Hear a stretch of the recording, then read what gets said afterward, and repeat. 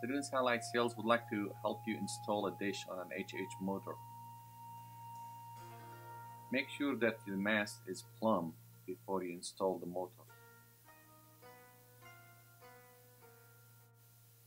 You can start with the uh, U-bolt bracket on the back of the of the motor. Just mount it on the uh, mast and hand tighten the uh, nuts on those uh, bolts. And you can uh, fit in the HH motor on its bracket.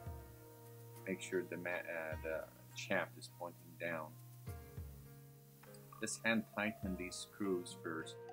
Adjust for the latitude value the latitude scale you see here. This is a fixed setting, so once you set it, uh, you don't need to change it for uh, adjusting. Now we're ready to um, install the um, satellite dish. Just have it ready and uh, pre-assembled and then uh, slide it through the shaft and uh, install that center screw that holds the um, back bracket of the dish to the shaft of the motor now adjust the, um, the dish elevation angle, get it ready.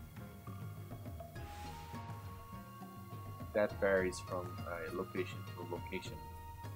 You need to check that on our website and see what value you need to um, set it up for your location. Have a good day.